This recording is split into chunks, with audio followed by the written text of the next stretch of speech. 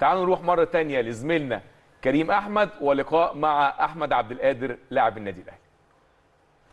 بجد تحية لكل جمهور النادي الأهلي في كل مكان. زي ما بنقول فوز عظيم الحقيقة لكل لعيبة النادي الأهلي. أحمد عبد القادر نجم نجوم النادي الأهلي الحقيقة اللي ببارك له النهارده ومبارك لكل اللعيبة.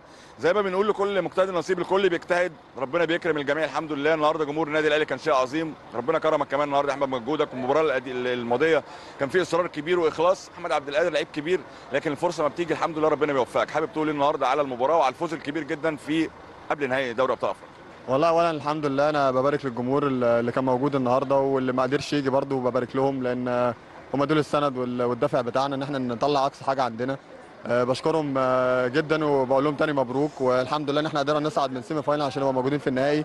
لسه البطولة ما خلصتش لسه عندنا بنجدد دوافعنا بنجدد إن إحنا نبقى موجودين بصورة أكبر في النهائي إن شاء الله ون- ونتوج بالبطولة. أه، أما بالنسبة لمشاركتي زي ما أنت عارف أنا بقالي فترة كبيرة جدا بره المشاركات أكتر من ست شهور أو سبع شهور تقريبا. من عدم مشاركة سواء بقرار فني أو إصابة ف... فالحمد لله الواحد لما رجع بيحاول يقول إن هو موجود أو بيحاول يطلع أقصى حاجة عنده لأنه مش عايز الفترة اللي فاتت تتعوض تاني. فأنا بحمد ربنا وأتمنى الاستمرارية يعني. واحدة من الأشياء المميزة جدا أحمد هو التزامك وهدوءك وإن أنت بتتمرن فقط لا غير. الفرصة جات لك الحمد لله.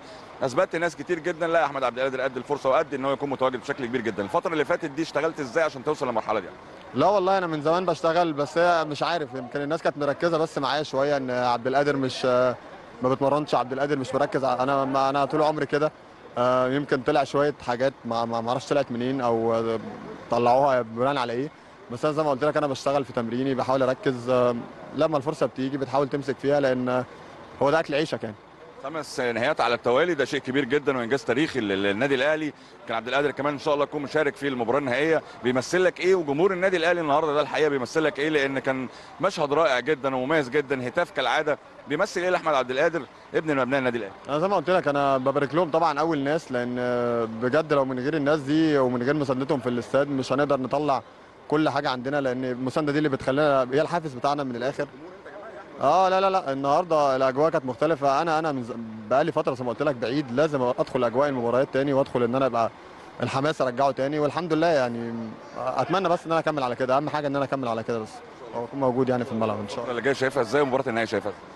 آه، شايف مباراة النهائي يعني زيها زي قبل النهائي طبعا أكيد. ويمكن أهم كمان بكتير. إحنا خلاص على بعد خطوة من التتويج إن شاء الله. فأتمنى إن اللعيبة كلها تكون مركزة و...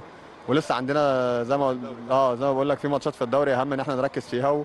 وقت ما يجي النهائي إن شاء الله أكيد كله هيفصل إن هو يبقى مركز في النهائي وأتمنى أتمنى إن هي تبقى بطولة النادي الأهلي إن شاء الله يعني. حبيبي الله يخليك الله يخليك ربنا يبارك فيك.